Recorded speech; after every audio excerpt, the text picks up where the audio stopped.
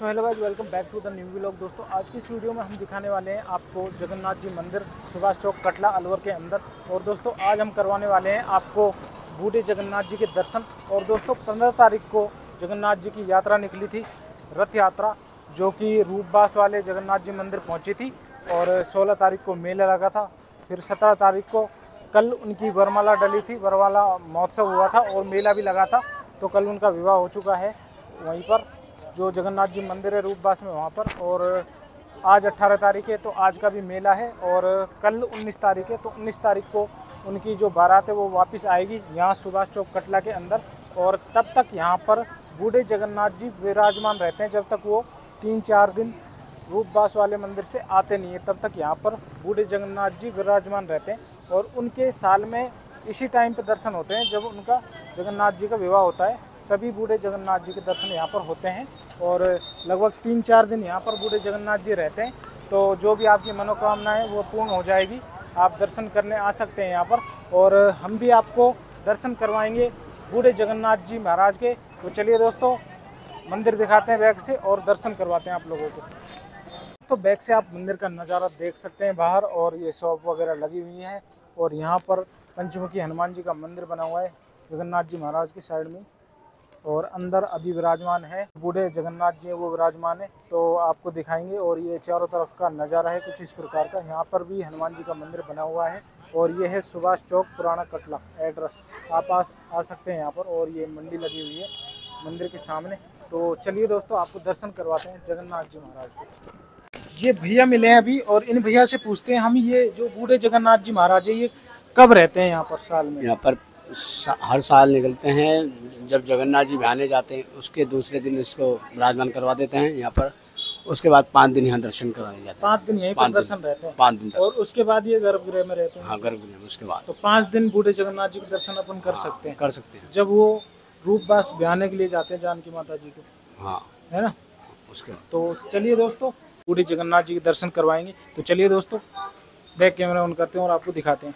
ये है अंदर से कुछ इस प्रकार का मंदिर और ये है नीचे का नज़ारा, आप देख सकते हैं।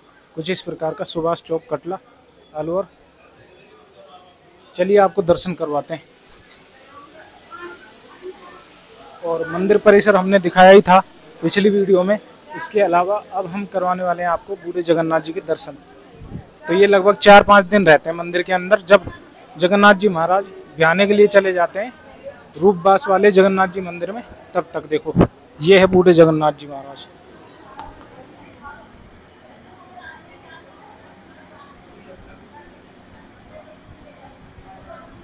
तो दोस्तों, आप दर्शन कर सकते हैं बूढ़े जगन्नाथ जी महाराज के।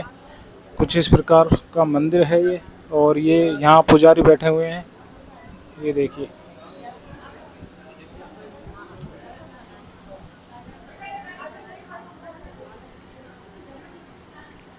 देखो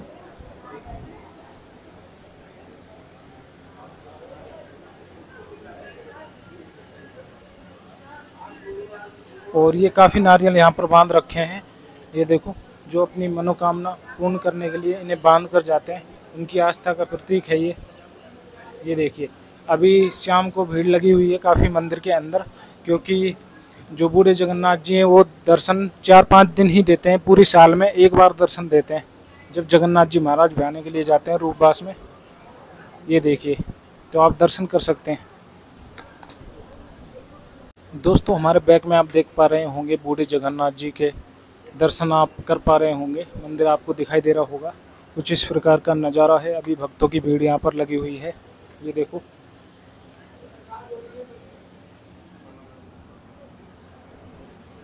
और मंदिर परिसर में धीरे धीरे भीड़ बढ़ रही है।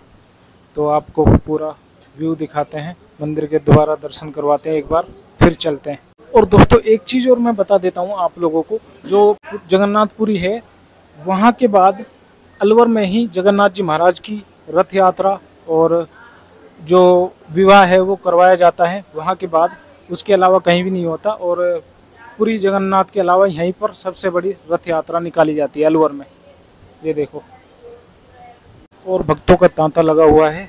कुछ इस प्रकार का ये मंदिर है, संगमरमर पत्थर से निर्मित किया गया है और लगभग 250 साल पुराना ये मंदिर बताया जाता है कि ये राजा महाराजाओं का मंदिर है और जो जगन्नाथ जी महाराज का रथ है, उसकी वीडियो भी हमने डाली थी, वो लगभग डेढ़ सौ साल से भी ज़्यादा पुराना है। ये देखो।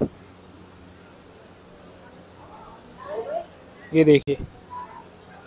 ये हैं दोस्तों बूढ़े जगन्नाथ जी महाराज, जिनके दर्शन आपको साल में एक बार होते हैं। और ये हैं दोस्तों सुभाष चौक कटला के अंदर।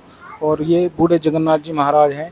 जब नए जगन्नाथ जी महाराज रूपवास में बिहाने के लिए चले जाते हैं तो ये विराजमान रहते हैं पाँच दिन के लिए यहाँ पर और भक्त खूब यहाँ पर दर्शन करने के लिए आते हैं बूढ़े जगन्नाथ जी के और फिर जब वो ब्याह के आ जाते हैं, बारात लेके वापस यहाँ पर आ जाते हैं, फिर ये वापस उनके पीछे विराजमान हो जाते हैं। तो ये साल में दोस्तों एक बार ही दर्शन देते हैं। तो कुछ इस प्रकार की ये जानकारी दोस्तों।